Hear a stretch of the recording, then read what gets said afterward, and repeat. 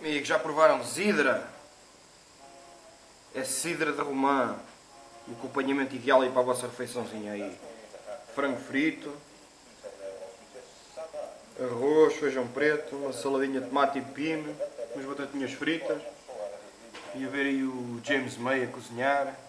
Top. Zidra.